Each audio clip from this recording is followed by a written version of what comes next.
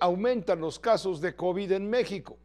La COFEPRIS aprobó ya finalmente la vacuna patria para uso de emergencia.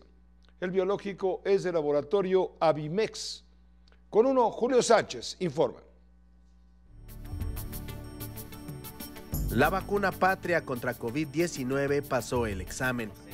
Durante dos horas, en un evento transmitido en vivo por redes sociales, el biológico desarrollado por el laboratorio mexicano Avimex fue examinado por el Comité de Moléculas Nuevas de la Comisión Federal para la Protección contra Riesgos Sanitarios, COFEPRIS.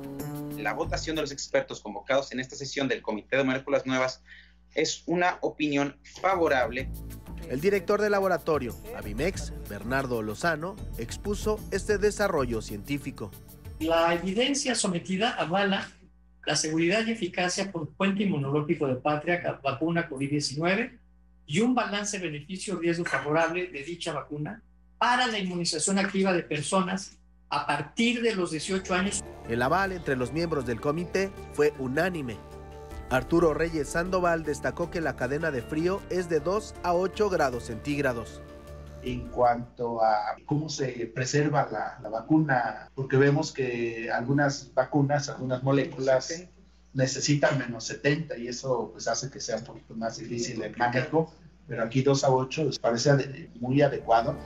Esta característica, afirmó Rosana Pelayo, permitirá llegar a las zonas más apartadas del país la preservación del biológico en realidad eh, va a hacerlo accesible a la nación, a, todos los, los pobladores de nuestra nación. Sergio Ponce de León aseguró que la vacuna Patria está a la par de biológicos desarrollados en el extranjero.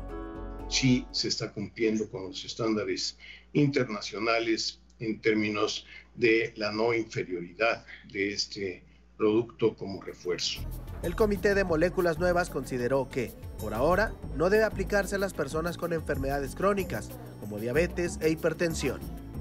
De manera unánime, también los expertos consideran que en este momento no se tiene información suficiente para personas con eh, inmunosupresión y por lo tanto en, este, este, en esta población será una contraindicación su aplicación. Con uno, Julio Sánchez.